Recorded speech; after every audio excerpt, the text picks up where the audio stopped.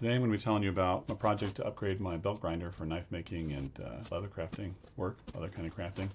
So I have a belt grinder, um, it's a 2x72 made by a local fella, Steve Goddard, who's uh, the son of uh, Wayne Goddard, who was one of the famous uh, folks who got lots of folks into knife making and actually reading his book was one of the things that got me started in knife making.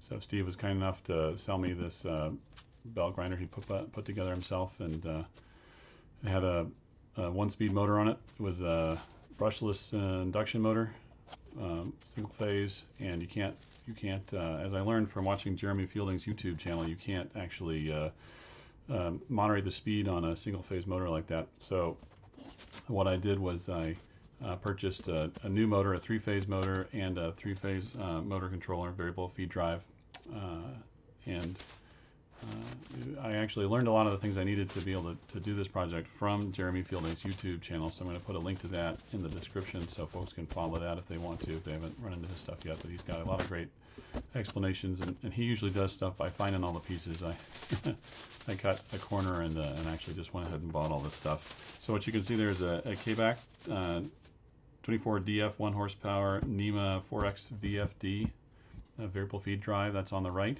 the box that has the brains that runs everything, and on the left is the motor I bought. It's a one horsepower Leeson 3450 RPM TEFC three phase motor. Did my research. I wanted a motor that was not going to get uh, fouled up by all the dust and debris from the crafting. So that's a totally enclosed motor, and it's a totally enclosed variable feed drive too. So don't have to worry about uh, them overheating uh, from some kind of enclosure I made. They're designed to be closed up shed heat themselves and uh, also not get fouled up by dust and debris from the knife grinding, handle grinding, leather crafting, etc. That's something they really want. You, you, know, this this was on the pricey end of things, but you can go even pricier if you want something that would be food grade. Didn't need that though. Okay, so you can see the inside of the VFD here, and uh, shows the three phases that go out to the motor and the two phases that come in from the um, from the city. So those are the three phases to the motor and then you can see the three phases described here. It's got several different voltage setups. I'm using the low voltage setup. Uh, that's the, the VFD that I got. So I have to connect those two together, and then it's set for 230 uh, volts from the factory, but I have to change it to uh, um, 115, basically 120. So I'm using a regular outlet to run this, and not one of the high power like dryer style outlets. That means I have to move this jumper over from the 230 to the 115. So it'll actually work right. And that turned out to be a little bit more difficult than I expected. It's it's really on there good, so I couldn't just like wiggle it out with my fingers and having to use my Leatherman to, to pop it off and move it over. That's a really important step, otherwise nothing's going to work right. Then I got, uh, yep, I got some liquid tight fittings to hold everything together, again to help keep dust out of the inside of the machine so it'll, it'll work and, and not get fouled up. So I'm getting those set up on the bottom of the VF D here, and then this is actually a leftover cable from a, a shop light I had that burned out, but had the right rating, and so I was able to use this cable to run everything. So I didn't. I, I did scrounge that one. Here you go. So the black and white power coming in from the uh, from the city is the black, and then the, the white is the neutral, and then the green is the ground. You want to have a ground. So I'm plugging in just to make sure that it works. The lights come on.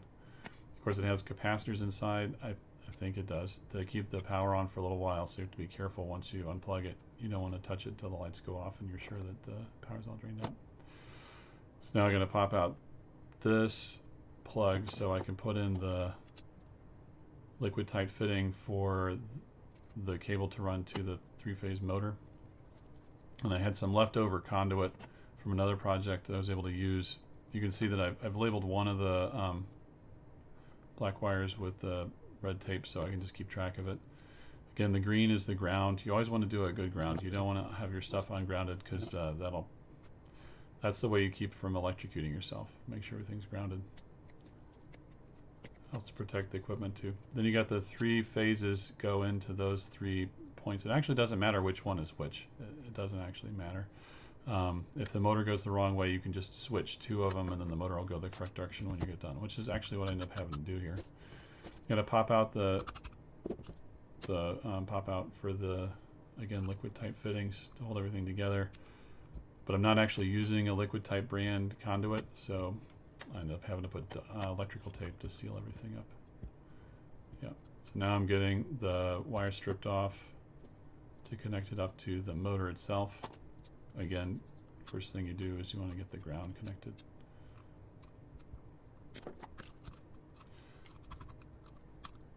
I ordered these uh, components from Electric Motors Wholesale online. I'll put the links in the description so folks can look at what I ordered.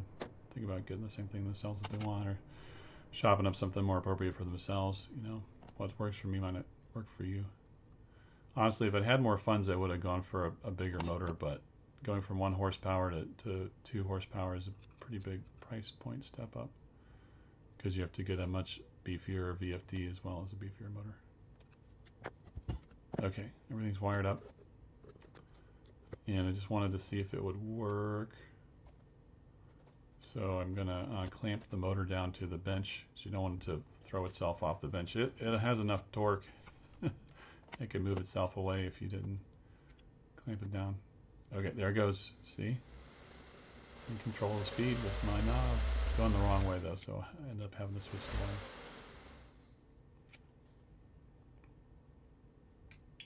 Yeah, so here it is and not sped up. This is in real time.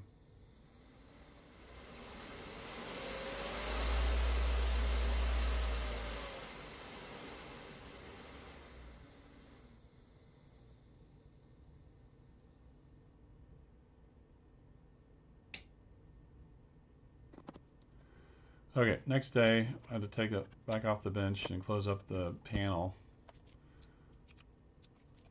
As always one of those hair-raising parts of electrical work for me is getting all of the wire stuff back into the box. Hoping that I don't get things to come undone. sure if I was a pro, I wouldn't have any trouble with it, but I'm not a pro. Yeah, and like I said, I have to use electrical tape to make sure that uh, everything's really sealed up. I don't want the the dust from grinding to get inside the electronics and screw it up. So I'm trying to get everything tightened up, chip shape. Why am I using red and blue? Just because I like the colors. I had them lying around. Use the blue on the blue motor and the red over on the VFD. Screwing it all back together. Now that part's done. I got to get it onto the grinder itself. So you can see it's got the old uh, single phase motor on it. This is a nice motor. It's pretty hefty. I think I might uh, make a new base for it and turn it into a um, disc grinder. I think it'd be good for that. If you got other ideas for what I could use it for, let me know. Send me a uh, comment. And while I'm busy unscrewing these things, I'll just say it, it really helps uh, helps me out here and helps grow this uh, channel if you if you give me a like on the video and you subscribe. So take a moment to do that. You can see my Let It Pour sign sticker back there from the um, Falling Sky Falling Sky location in the UO Student Union. So uh, they're a local brew pub. Really, really like their their beer and their food. Yeah, I'm showing which it's a 1 8 inch drive Allen key to to take this pulley off. Anyway, uh, I really like the Falling Sky folks, and they make some great food and some great uh, beer. Look at all the junk that's in the back of that pulley.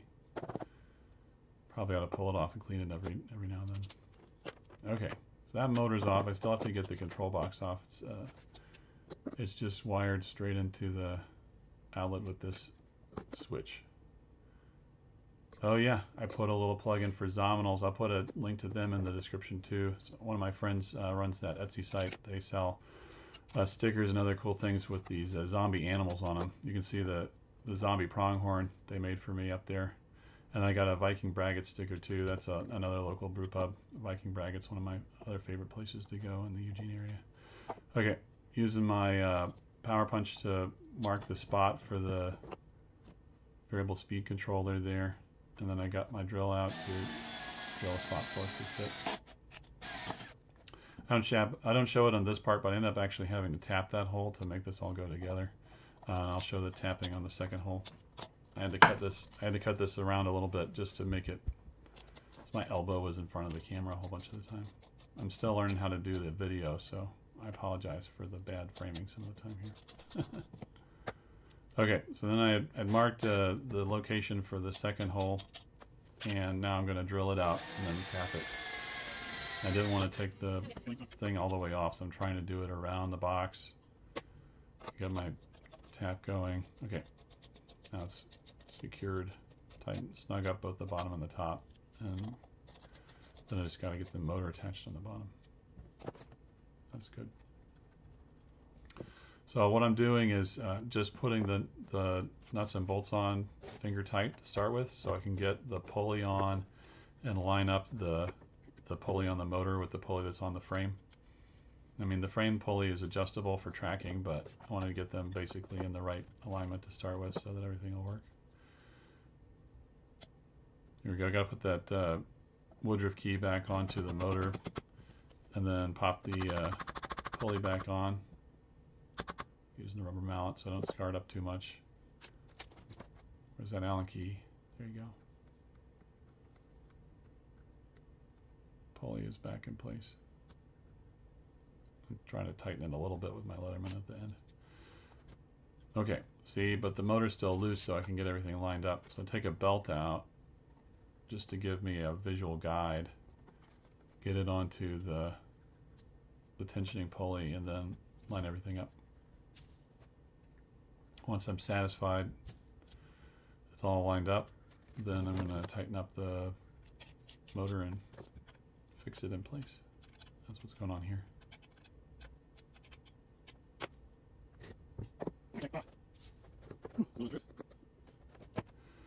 Okay, now it should be good to test out.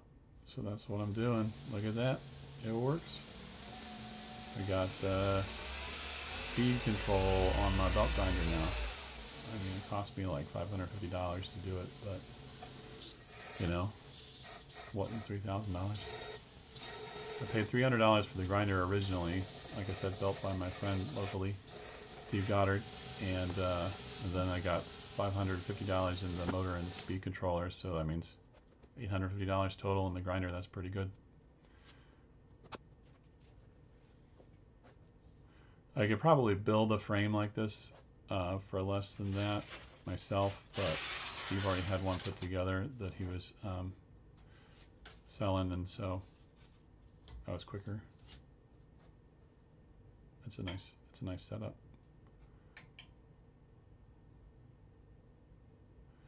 Yep, here I'm going in, in real time again just to show the whole thing working at the end. So if you enjoyed this video, uh, please give me a like if you got some ideas for how I could do things differently or what you would do, give me a comment. Uh, let me know about it. And uh, please subscribe to my channel so that I can continue making these videos and um, figuring things out. Things out. Basically, I'm figuring it out as I go along and showing you the process. Hopefully, some folks will figure things out too, and then we can uh, share our experiences. Yep, there you go. It works. Thanks for your time. Bye.